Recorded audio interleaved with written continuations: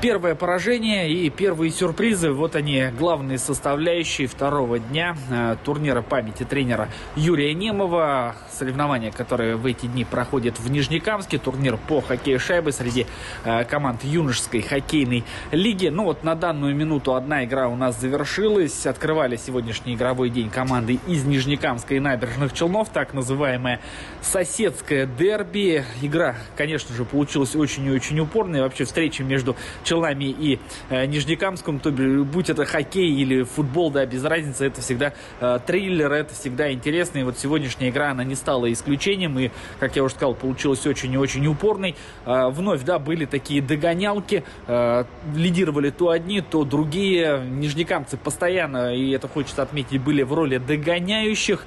Э, в какой-то момент счет, счет в этом матче был 2-2, но вот в итоге э, победу да, смогли одержать э, набережно-челнинские хоккеисты. Третий период в этом матче стал решающим, когда э, дважды э, гости смогли огорчить э, нижнекамцев и в итоге добились для многих э, неожиданной победы со счетом 4-2. И тоже хотелось бы отметить, что в прошлом сезоне результаты были абсолютно наоборот. Да? В основном э, победы одерживали нижнекамцы, и при этом эти победы э, были одержаны достаточно уверенно. Но вот новый сезон, да, и вот такой вот сразу Сюрприз, э, неприятный для всех нижнекамских поклонников хоккея, сюрприз, который э, в промежуточной турнирной таблице отодвинул, отодвинул нижнекамцев на третью строчку. Ну и вот буквально через несколько минут начнется матч между нефтяником и торпедо. Э, торпедо многими котируется, да, как фаворит этого турнира. Но вот посмотрим, удастся ли команде из Альметьевска, да, противостоять вот этому самому фавориту. Вообще, я вчера тоже отмечал, да, что слабых команд здесь нет, и, конечно, любая команда может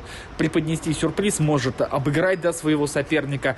А, поэтому э, какие-то надежды, да, конечно, сейчас связаны с альметьевской а, командой, потому что а, в случае победы торпеда уже забронирует себе место в финале. Непонятно, с какого места они выйдут, с первого или со второго, но то, что они будут играть за золотые медали, это уже абсолютно точно. Но вот э, завтрашний игровой день, он и станет, в принципе, таким определяющим, кто же, да, сразится за кубок за медали э, турнира памяти Юрия Немова. Очень, конечно, хочется, чтобы это были хоккеисты нефтехимика, но завтра им еще э, предстоит игра с торпедо. Опять же, с фаворитом, да, и завтра нижнекамцам нужна только э, победа. В этом случае наши парни смогут также, да, претендовать на самые высокие места. В общем, турнир продолжается, как я сказал, турнир красочный, турнир интересный, будет он продолжаться и в выходные дни, поэтому э, вновь, да, призываю прийти сюда в Ледовый дворец Нефтехим Арена и посмотреть очень э, хороший хоккей. Мальчишки взрослые, если кто думает, да, может быть, там десятилетние ребята играют, э, и не очень интересно смотреть. Во-первых, этих мальчишек тоже интересно смотреть, но когда ребята постарше, да, 16-17 лет, показывают классный хоккей, э, поэтому есть возможность абсолютно бесплатно прийти Э, понаблюдать, поболеть, покричать. В общем, э, всех ждем здесь, под сводами Нефтехим арены. Турнир Юрия Немова в Нижнекамске продолжается. Александр Халин, специально для НТР.